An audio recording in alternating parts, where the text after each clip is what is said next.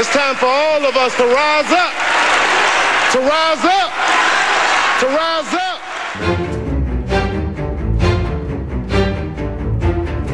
Joy Free Press and News spent years trying to track down those secret messages. They reveal a relationship between the mayor and his chief of staff that was far more than professional. Good evening. Tonight, sex, lies, and politics.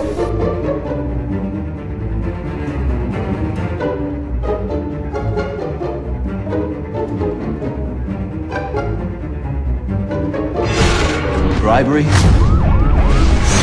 extortion, murder, racketeering.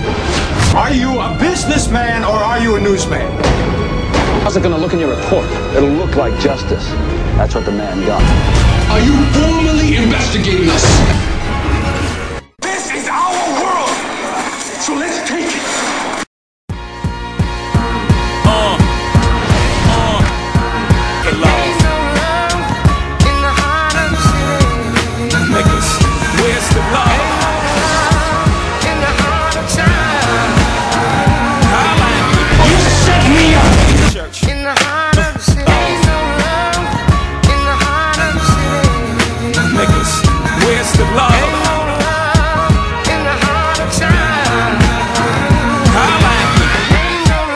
Take 'em to church.